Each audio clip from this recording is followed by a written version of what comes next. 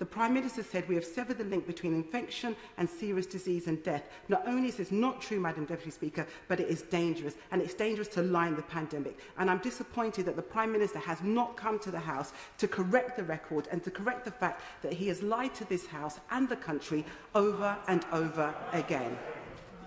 Order, order. I'm, I'm sure that the um,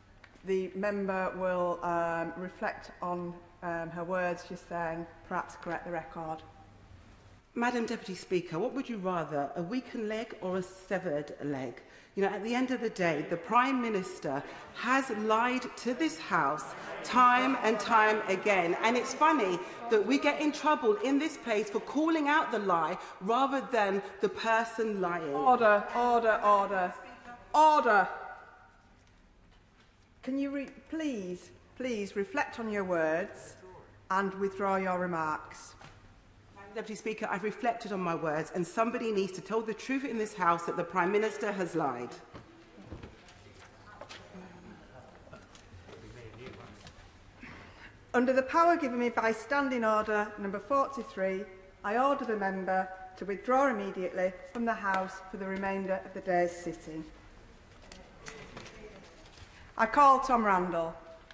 Thank you, Madam Deputy Speaker. On perhaps a uh, slightly lighter note, I hope that before the House adjourns today, we can celebrate the uh, colourful display that we can currently see in Parliament Square.